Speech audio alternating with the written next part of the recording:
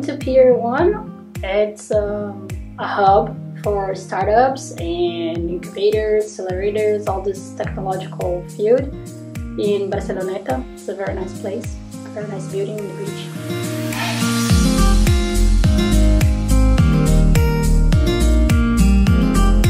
Uh, our teachers from entrepreneurship uh, were showing us around because they have an office there. So they took us to do kind of a guided visit and so we saw a lot of different offices that happen there since like small companies to bigger ones manufacturers of cars and small startups that are trying to to get big and be launched uh, some people that got some investments so all types of different offices that work together in the same environment and also our teacher's office that was in the top floor. Very nice one very good view.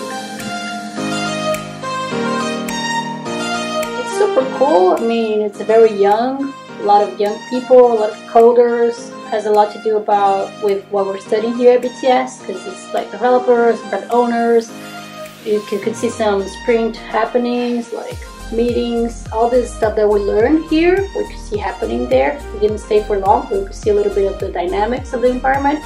It was super cool, very young, very technological, a lot of big cool computers and devices and young people having fun and working at the same time. Saw some on the ground floors and also like one, two, three, four, I think. And in the upper one, you can see all the pier with lovely views and yachts and boats. It's a very nice environment to work.